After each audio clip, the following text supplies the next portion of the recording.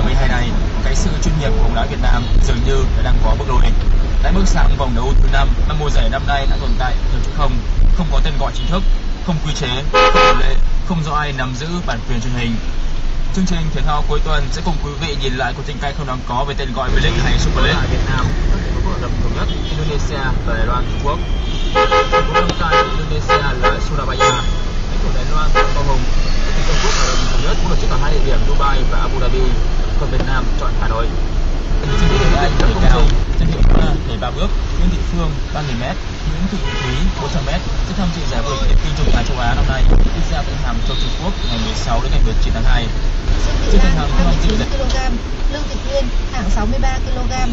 và tự do nữ Nguyễn Việt Hà tập tay đua đội ADC truyền hình Vĩnh Long thi đấu quốc tế lần này nhằm giúp tay đua này có thời gian kiểm điểm bản thân, hy vọng đặt vào hai tuyển thủ Mai Nguyễn Hưng, Hồ Văn Phúc tranh tài ở nội dung xuất phát đồng hàng nam thể đội tuyển,